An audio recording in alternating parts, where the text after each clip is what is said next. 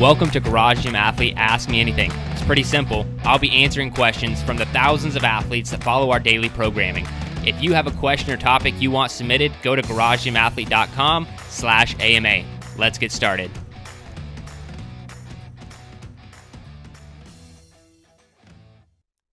What's up, ladies and gentlemen? Jared Moon here from Into 3 Fitness, and welcome to a Garage Gym Athlete Ask Me Anything. So this week comes from James. He says, I read in one of your articles that if you could run a uh, run a marathon in three hours or less, that you run too much. So I did jokingly say that if you're running marathons in the two hour to two to three hour range, you're you're running too much.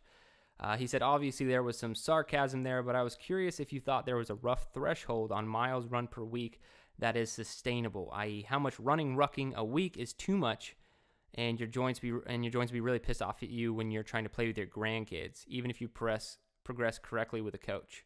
He said, Thanks, love Garage Gym Athlete. Your programming is the best I've ever used. No comparison. Well, first, thanks for the kind words about the programming. Now, to your question on how much running or rucking is too much for your body to where, you know, later on down the road, um, you're not going to be a very optimal human being. And this is something I think about and talk about all the time.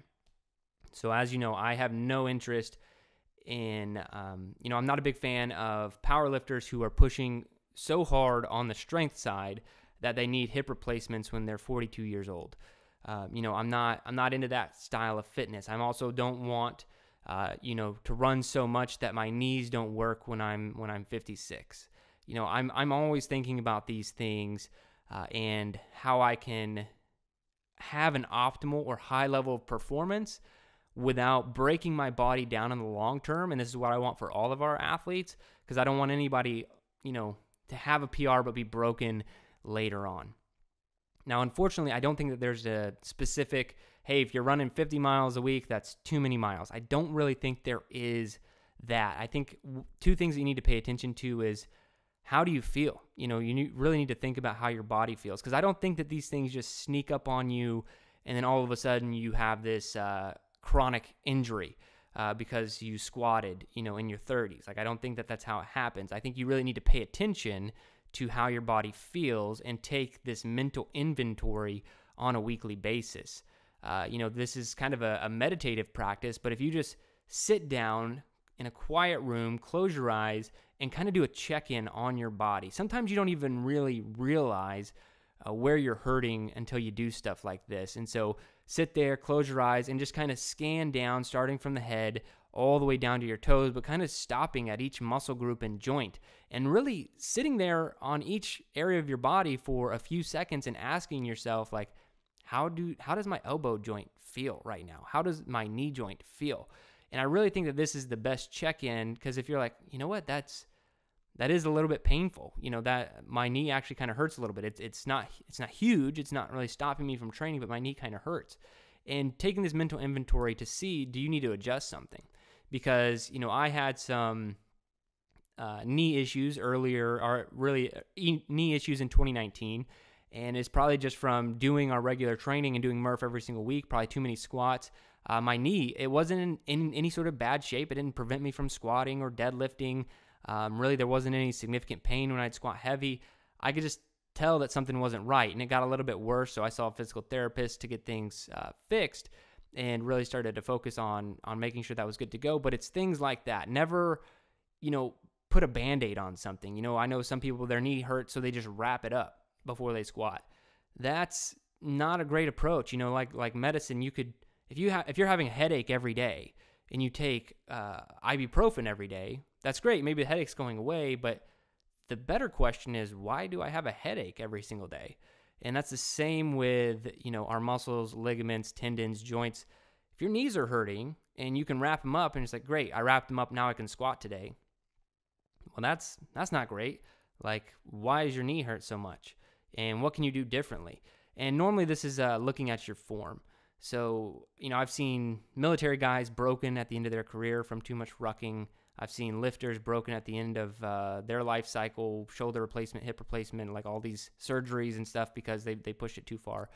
Uh, but I think form is going to be a big deal um, with running specifically, making sure that you really know uh, how to, you know, hit with the I'm no I'm no uh, expert runner coach, but trying to hit more of a forefoot and letting your your body use its natural um, you know spring properties uh, to to take the shock and impact of running.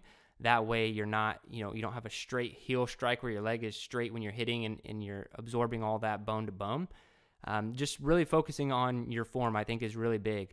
Uh, making sure that you have the right equipment and then checking in with your body because if you do hurt, you need to stop. You know, I've shared this um, on many, many podcast episodes, but I don't mess around. If I if I feel like I'm getting hurt, I just stop. I have absolutely no ego when it comes to fitness because there's no reason to. I'm not competing in anything. All I'm trying to do is be, you know, a really high level uh, for myself and for my family. That's it. So I'm not really interested in this. Um, oh, you know, my my knee's killing me, but I got two more reps. Like my knee hurts and I'm on my third set of squats, I'll probably just stop. I'm not going to push anything to injury. Same with uh, you know my shoulder. If I'm lifting something overhead and I'm like that doesn't feel right, well I'm going to try and loosen it up. I'll maybe I'll lift again, but if it's still not feeling right, hey, I'll get it next time. And so these are kind of a, it's more of a mindset uh, approach to these things is is my best answer to your question. I don't think that there's an exact amount, but always paying attention to your body and when something's hurt, find out why, go to the root cause, fix it, and just making sure that you know, uh, you know how far you can push it before something becomes injury. Because anything that is acute, so meaning you know just one time, could turn to chronic, and that's what we're trying to avoid. So anytime that acute thing flares up, take it at the root cause. Is your form off? You know, what do you need to do to fix it? Do you need to, uh, you know, get go see a physical therapist or something like that? So those are things I would recommend. Hopefully that helps.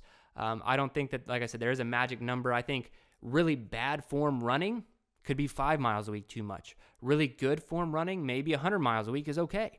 You know, it's really going to be super dependent on each person, uh, but paying attention to anything and everything you can and making sure that you're taking care of the root root problem is my main advice. So hopefully, James, that answers your question.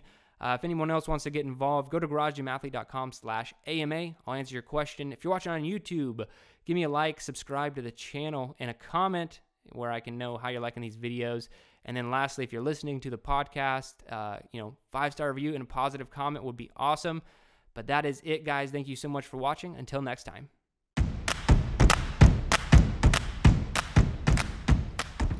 I hope you enjoyed today's Ask Me Anything episode. So one more time, if you want to submit a question, topic, or idea, you can do so at garagegymathlete.com slash AMA. And hey, while you're there, if you haven't already, sign up for Garage Gym Athlete membership. We are the best community and programming on the internet. I dare you to try and prove me wrong.